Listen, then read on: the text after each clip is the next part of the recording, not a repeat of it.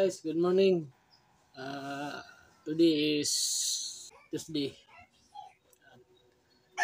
May mayroon na akong i-share sa inyo guys na kunting kalaman.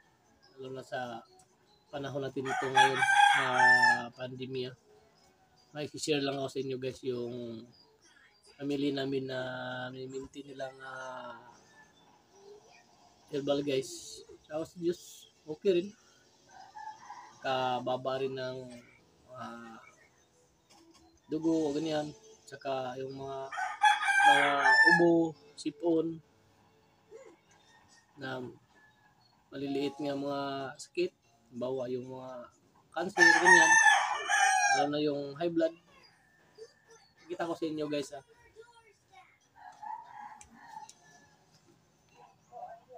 ito guys. One of the juice ang iniminti namin. Kasi maganda to guys. 15 naka klase uh, iba't ibang klase nga prutas ang nandito. Yeah. ang minimintin mo sa ito yung buong katawan mo lalo na yung mga inyong system nyo padagdag ito guys. Uh, one of the juice ito pala yung minimintin ko. Every morning bago ako mag pagkagising ko ito ang minimintin ko. Dalawang bawa ito ito. Bawa ito guys.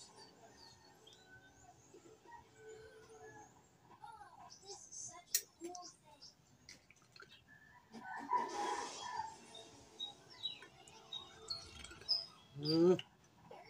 Dalawang takip lang bawat araw pag may karamdaman kayo, either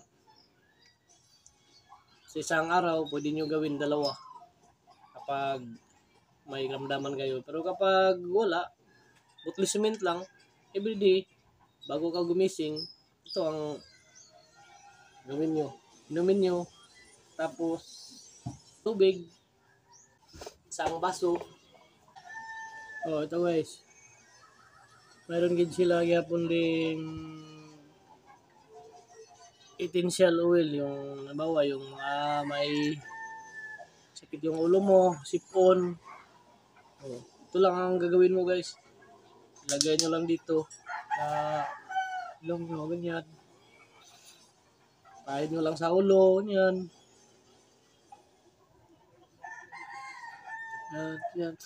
Mm, ah, sarap sa hinga, hinga at saka malamig sa ulo nyo, ganyan. Essential oil to guys. Herbal din. Ito, ito lang ang gamit namin sa buong pamilya namin guys. Mga tulad ito, herbal. Saka pang mga plus, miracle, miracle oil. Meron din sila guys na miracle oil. Ang plus sa buong katawan mo, yung mga katawan mo, sa kasuan, sakit yung katawan mo. Ito. Ang gamit namin. Ito guys, the best talaga. One of the Diyos. Ito talaga ang ang cement ng aking katawan guys. Lalo na dong nagpandemya. Ito lang ang ginagamit ko palagi. Yun lang guys, yun lang ang masishare ko sa inyo. Kung gusto nyo mag cement sa mga halimbawa herbal na hindi tablitas, ito lang ang bibilhin nyo guys. Hindi, comment below lang kayo sa akin guys dyan sa ibaba. Para magpasabihan ko kayo kung saan kayo bumili, saan kayo kukuha. Comment below lang kayo guys. One of the Diyos, the best talaga. Ito ang food listment ko sa aking pamilya. Maliliit kong uh, anak, isang cup, binibigay ko sa kanya uh, every morning. Tsaka misis ko rin. Bless Diyos, yung mataas yung BP niya palagi. Pero sa awan ng Diyos, bumaba talaga guys. Yun talaga.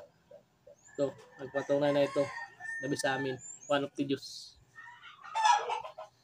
Yeah, yun lang guys ang isi-share ko sa inyo. Yung miniminti namin.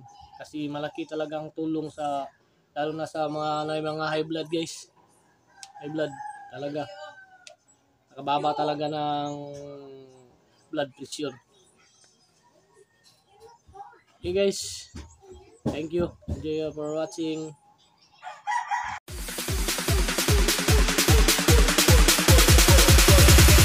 Got money on my